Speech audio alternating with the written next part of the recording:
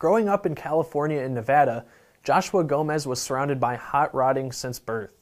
Essentially raised on racetracks, Gomez built his first engine at just 16 years old, a 406 cubic inch small block Chevy. Today, Gomez is 45 years old and has built over 700 engines, from Cadillacs, Fords, and Chevys to Hondas, Nissans, and Toyotas, as well as some Mopars and AMCs.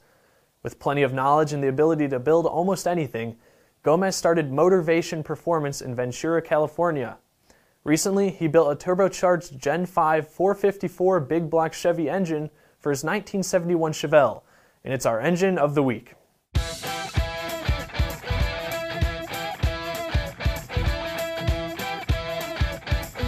Engine Builder's Engine of the Week is sponsored by PennGrade. Precision, performance, PennGrade. Always the original green oil. Elring Das Original. Leading technology, leading service. And Scat Crankshafts. Everything for your LS engine.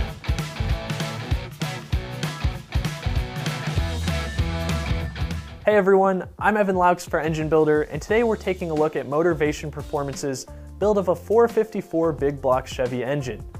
Gomez wanted something that was cheap, fast, and stayed together. With his experience, he was able to create a reliable piece that was also affordable. To start, Gomez utilized a factory Gen 5 454 block. From there, he found various parts on eBay and automotive forums to start building the engine, such as a standard stroke and journal crankshaft, some used aluminum rods, and some brand new custom standard bore pistons. According to Gomez, he found stuff people didn't use or couldn't use. He found some heads from Speedmaster 79 that fit his budget and filled them with some used pack valve springs and new Ferrea heavy duty oversized valves.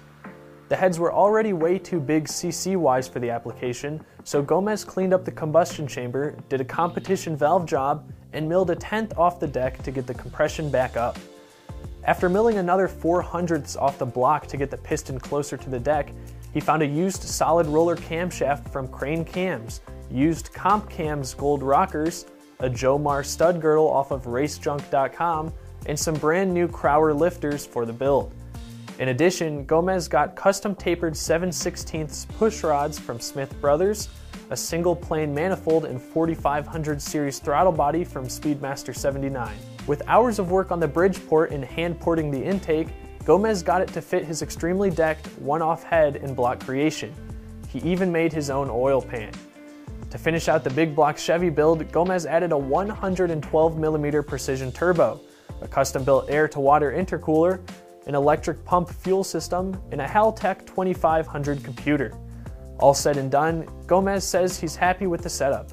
It's a very reliable turbo engine on a budget and one fun car in the streets. On 30 psi of boost, it'll make about 1800 horsepower, and it keeps the air-fuel ratio happy at 11.3 to 1 on E85 fuel. All that power is going through an 8.2 10-bolt rear end with 33 spline axles and a strange spool. With the engine living happy in his 1971 Chevelle, Gomez says he's proud of himself for being a doer and a builder and keeping true to the original game of hot rodding. Well, that does it for this episode of Engine of the Week.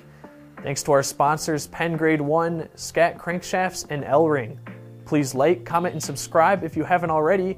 And if you have an engine you'd like to see featured, please email our editor Greg Jones at gjones at babcox.com. We'll see you next time.